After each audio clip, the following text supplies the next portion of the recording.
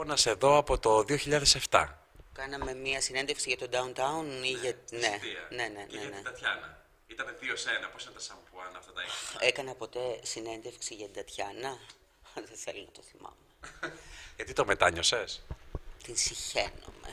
Γιατί; Είναι ένα πλάσμα, μια νοικοκυρά σε απόγνωση, απατημένη, η οποία ενώ έχει κτίσει μια καριέρα στην κυριολεξία πάνω στα πτώματα τρανς ανθρώπους, τώρα είναι απαξιωτική.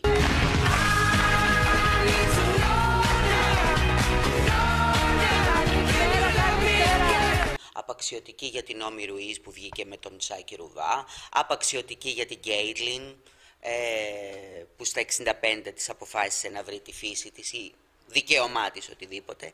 Δεν τα μπορώ πια αυτά. Συμφωνείς με που ε, έκανε την εγχείρηση αλλαγή φύλου για να γίνει γυναίκα; Αγαπημένοι μου, συμφωνώ με όλους τους ανθρώπους που αποφασίζουν να γίνουν ευτυχισμένοι. Δεν με αφορά τίποτα άλλο. Μόνο αυτό.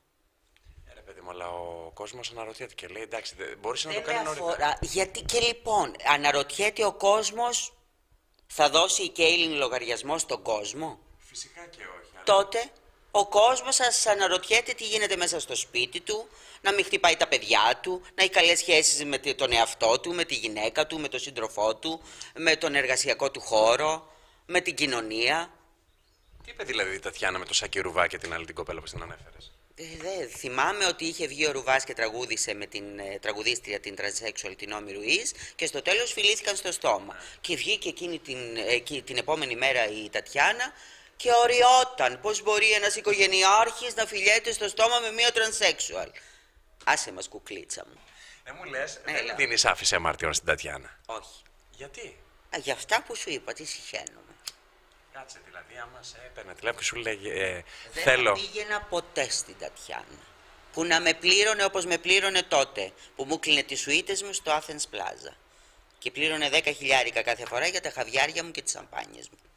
Δεν θα πήγαινα ούτε με 50 χιλιάδες. Αλήθεια το λες; Αλήθεια το λέω. Στη μανούλα μου, που δεν έχω ιερότερο. Τι θα της απαντούσες μετά από το Δεν σχέδιο. θέλω να της απαντήσω τίποτα. Αδιαφορώ. Είναι ένα συχαμένο πλάσμα. Μία νοικοκυρά σε απόγνωση. Αυτό.